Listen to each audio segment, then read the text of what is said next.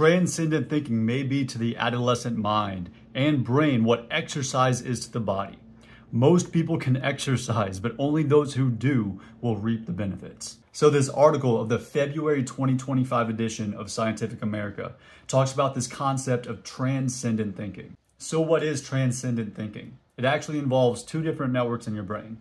The first is the default mode network, and it's highly associated with self-reflection, with creative thinking, and also with values and beliefs. The second is the executive control network and it involves focusing on the environment around us and managing our behaviors. So transcendent thinking is actually bouncing back and forth between the default mode network, who am I, know my internal reflection, and the executive control network, all the environment around me. And when you bounce back and forth, back and forth, you actually build a stronger connection between who you are and how you fit in the world around you.